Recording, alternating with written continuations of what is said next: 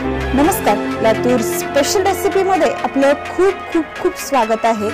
आज आपण प्रत्येक भाजीमध्ये वापरात येणारा असा पदार्थ पाहणार आहोत की ज्याने आपल्या भाजीची जी कन्सिस्टन्सी आहे ती खूपच चांगल्या पद्धतीने घट्ट होते. तर यासाठी मी एक ग्लास चण्याची डाळ घेतलेली आहे. त्यासोबतच अर्धा ग्लास बाजरी अर्धा ग्लास गहू अर्धा ग्लास तांदूळ आणि या ठिकाणी अर्धा ग्लास ज्वारी घेतलेली आहे. तर सगळ्यात जास्त आपण चण्याची डाळ ही घेतलेली आहे. आता यामध्ये आपण सगळ्यात अगोदर गहू टाकलेले आहेत आणि त्यामध्ये अगदी थोडंसं तेल टाकून याला छान खरपूस कलरपर्यंत भाजून घ्यायचं आहे. आणि विशेष म्हणजे हे आपण चुलीवरती भाजत आहोत.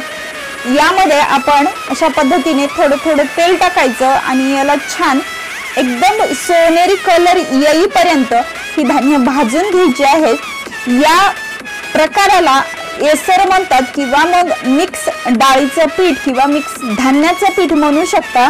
तर हा एसर तुम्ही कुठल्याही रस्सा भाजीमध्ये टाकला तर याची जी चव आहे ती खूपच अप्रतिम लागते. आणि त्यासोबत भाजी घट्ट तर होते पण भाजीवरची जी तर्री आहे किंवा तवंग आहे तो अगदी जशाच तसा राहतो. तर गहू आपले छान भाजून झालेले आहेत. या ठिकाणी परत आपण ज्वारी टाकलेली आहे आणि यामध्ये अगदी थोडस तेल टाकून घेतलेलं आहे. आता या ज्वारीला सुद्धा आपण छान एकदम गोल्डन कलर पर्यंत भाजून घ्यायचं आहे. तुम्ही या ठिकाणी तेल कमी किंवा जास्त दोन्ही तुमच्या आवडीनुसार वापरू शकता. शक्यतो कमी वापरायचं कारण हा जो येसर आहे तो एक वेळा जर तुम्ही बनवलात तर हा वर्षभर छान टिकतो. म्हणजे तुम्ही कुठल्याही हवाबंद डब्यामध्ये ठेवला तर याला अजिबात वास येत नाही किंवा मग हा खराब होत नाही. तर ज्वारी सुद्धा आपली छान भाजून झालेली आहे. आता या ठिकाणी आपण तांदूळ टाकून घेतलेले आहेत. आणि तांदळामध्ये सुद्धा आपण तेल टाकून हे भाजून घ्यायचं आहे. सगळ्यात अगोदर आपण एक गोष्ट लक्षात ठेवायची की सगळी धान्य आपण छान पाकडून म्हणजे निवडून घेतलेली पाहिजेत स्वच्छ करून घेतलेली पाहिजे. आणि नंतर आपण ती भाजायला घ्यायची आहेत. तर तांदूळ सुद्धा आपले अगदी छान खरपूस कलर येईपर्यंत भाजायचे आहेत. आणि याची जी आच आहे म्हणजे तुम्ही चुलीवरती भाजा किंवा गॅसवरती भाजा तर अगदी लो मिडियम वरती हे भाजायचं आहे. म्हणजे अगदी कमी जाळ जो आहे तो ठेवायचा. तर तांदूळ सुद्धा आपले छान भाजलेले आहेत. आता या ठिकाणी आपण बाजरी घेतलेली आहे आणि बाजरीमध्ये सुद्धा आपण थोडस तेल टाकलेलं आहे. आता याला सुद्धा अगदी खरपूस भाजून घ्यायचं आहे. कारण ही धान्य जे आहे तुम्ही जेवढी खरपूस भाजून घ्याल तेवढा त्या एसराचा कलर सुद्धा छान येतो त्यासोबतच जी चव आहे ती सुद्धा खूपच अप्रतिम लागते. तर कुठल्याही भाजीला तुम्ही अगदी कांदा खोबरं याचं वाटण न करता फक्त आपण जिरे मोहरी किंवा लसणाची फोडणी देऊन यामध्ये अगदी थोडासा जरी एसर वापरला तर आपली जी भाजी आहे ती घट्ट तर होतेच पण खाण्यासाठी चवीला सुद्धा खूप छान लागते.